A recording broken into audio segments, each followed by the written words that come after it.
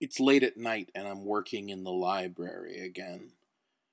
It's the library where all the books are, all the books by all the colonists, artworks, recordings. It's the little pieces that everyone leaves behind when they've been here. On, on the piano in the corner is artwork by the colonists who are here now with me. It's great work. I can't believe how much good art I've seen and read and experienced since I came here. It's staggering, really, when you think about how much crap there is in the world. It's always amazing when suddenly it's not crap and it's really good.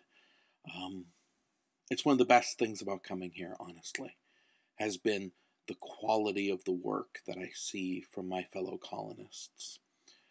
There have been amazing photographs and paintings would take your breath away. The detail is so exquisite.